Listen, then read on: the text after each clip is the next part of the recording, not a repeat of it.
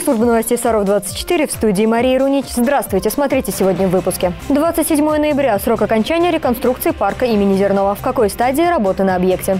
Секрет долголетия. Сравчанка Анна Ивановна Синькова отметила 90-летний юбилей. Первая домашняя игра в новом сезоне. Хоккейный клуб Саров примет на своем льду команду из Таншаева. Далее расскажем обо всем подробно. Декретные выплаты в размере 50 рублей отменят с 1 января 2020 года. Соответствующий указ президента Российской Федерации опубликован на сайте правовой информации. Также новый президентский указ отменяет норму о ежемесячном начислении 50 рублей студентам и аспирантам, которые находятся в академических отпусках по медицинским показаниям.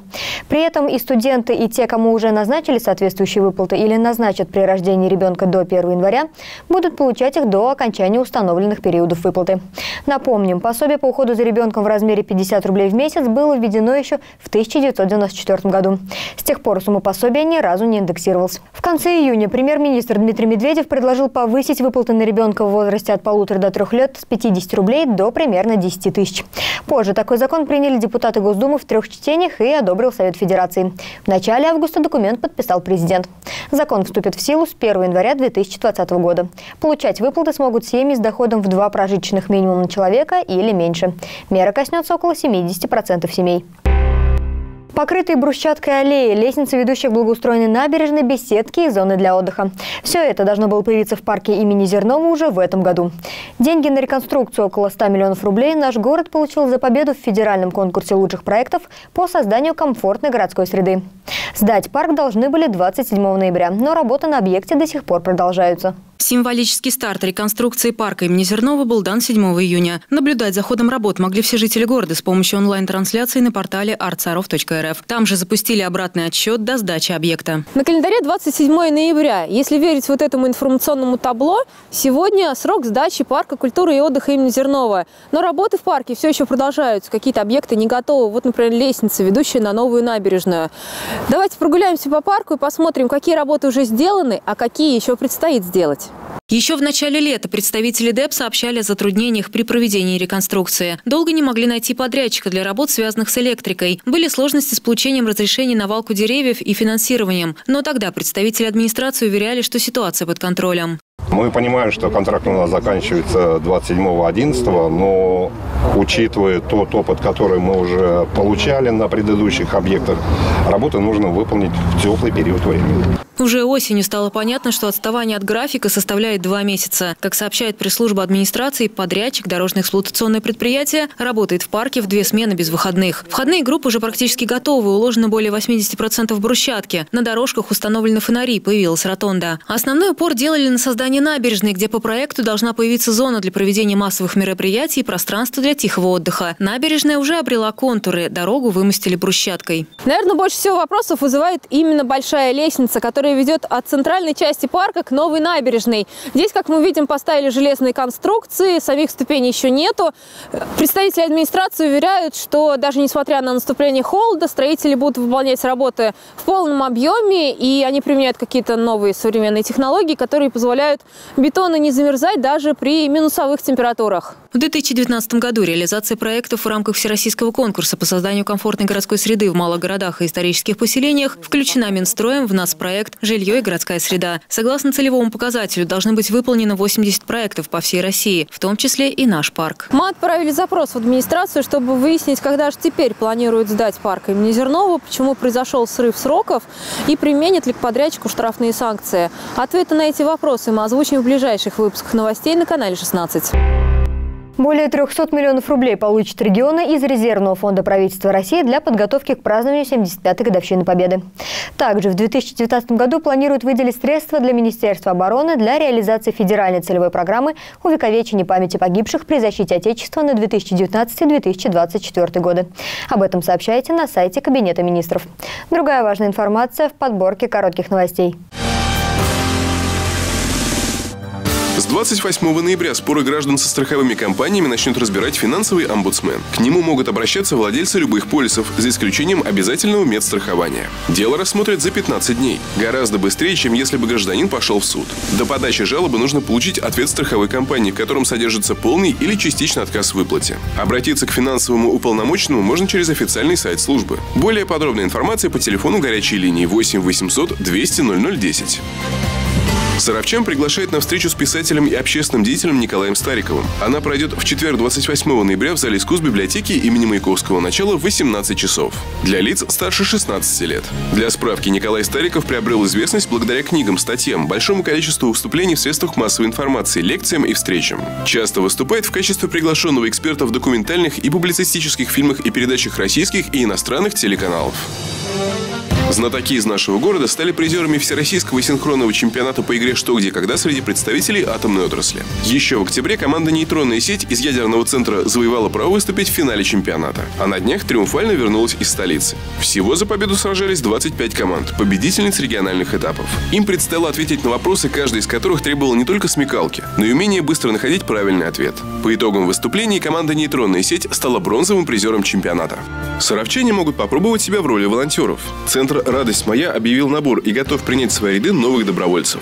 Сейчас волонтеры готовятся к рождественским праздникам и будут рады любой помощи. Никаких требований и предварительных условий нет. Достаточно желания помогать людям. Связаться с руководителями Центра «Радость моя» можно через официальную страничку организации ВКонтакте. Ветеран атомной энергетики и промышленности, ветеран труда Анна Ивановна Синькова отметила 90-летний юбилей. Бодрости духа, здоровья и оптимизма ей пожелали родные, друзья и депутат округа Петр Смирнов. Всю свою жизнь Анна Ивановна посвятила семье и работе. Будучи ребенком, помогала ухаживать за младшими братьями и сестрами. В войну на железной дороге в Стеклянном очищала и укрепляла насыпь, выполняла поручения. В 50-м году вышла замуж и приехала в наш город. Работала почтальоном, потом уборщицей. Воспитала троих детей. Она нас всех сплачивает, она она вот у нас обязательной традиции. Вот она всех нас собирает на, на пироги. Это вот у нас три раза в год мы собираемся все. Дети, внуки, правнуки. Вот даже там родственники какие-то приходят. И это пироги. Это были замечательно. Она ведрами пекла эти пироги. Секрет долголетия Анны Ивановны в любви, уверены ее близкие. Эту любовь она дарит всем окружающим. Женщина всегда приветлива, общительна, готова прийти на помощь. Соседи ее все вот тут вот любят. Они вот сегодня звонят, все поздравляют. Она сейчас не выходит из дома, вот на балкончик выйдет, ей там гуляют, ей помашут, звонят, вот меня спрашивают, как там Анна Ивановна. Они все ее очень уважают. И она всех, она всех, и ее тоже. С юбилеем Анну Ивановну поздравили не только родственники и соседи. Теплые слова и пожелания здоровья ей адресовали представитель Совета ветеранов микрорайона и депутат округа. Я считаю, что депутатам важно уделять внимание своим, э, поздравлять э, людей с юбилеями, поэтому вот э, с Людмилой Михайловной мы вот сегодня здесь поздравляем Анну Ивановну с 90-летием. Ну, у нас вообще добрые традиции поздравлять ветеранов вот, с 90-летием, 95-летием. Недавно поздравляли женщин с 95-летием. Вот. И очень-очень, конечно, нам помогают депутаты. Сейчас у Анны Ивановны большая крепкая семья. Шесть внуков и шесть правнуков. Екатерина Опенова, Артемий Глазков, Сергей Рябов, служба новостей Саров 24. Фестиваль актуального научного кино «Фанк» запустил масштабный просветительский проект «Дни научного кино», в рамках которого по всей стране будут бесплатно показывать документальные фильмы о науке и новых технологиях. Проект создан для того, чтобы познакомить с современным научным кино как можно больше зрителей, пробудить в них интерес к науке и вдохновить на собственные исследования. В нашем городе площадкой для проекта выступила художественная галерея. Девять документальных фильмов за четыре недели. В рамках фестиваля «Дни научного кино» в художественной галерее будут показывать фильмы отечественных и зарубежных зарубежных режиссеров, которые познакомят зрителей с разными областями науки. Все киноленты новые. Шесть из них вышли в прокат в 2018 три в этом году. Мы побываем э, на крайнем севере. Мы пройдем путем э, Семена Дежнева. Мы отправимся на Камчатку к бурым медведям и проследим в течение целого года, первого года жизни, несколько медвежьих семей.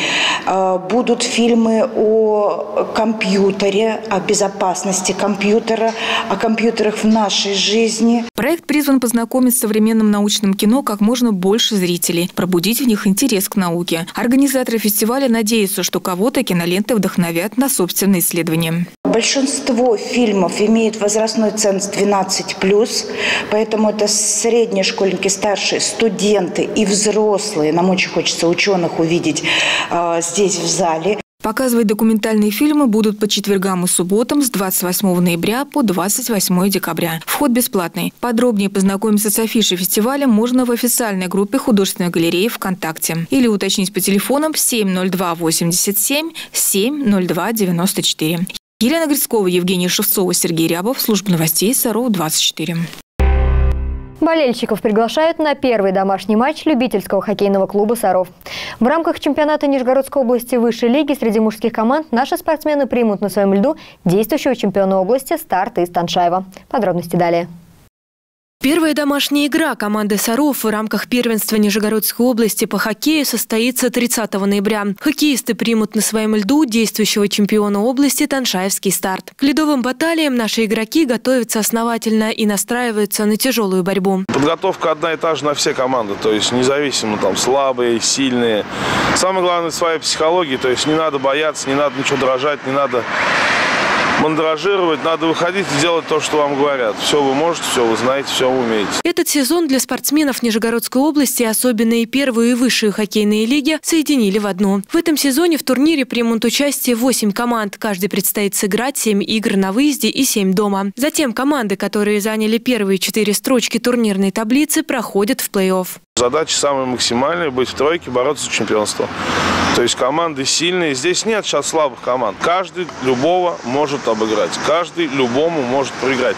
Здесь подобралось сейчас такой приличный сезончик получился. Я думаю, что и, может быть, федерация как-то предпримет меры сохранить это все и добавить сюда еще больше команд. Поддержка для нашей команды, по словам Сергея, это важная составляющая хоккея. В нужный момент зрители могут придать сил спортсменам. Приходите и поддержите нашу команду. Начало игры в 13.00.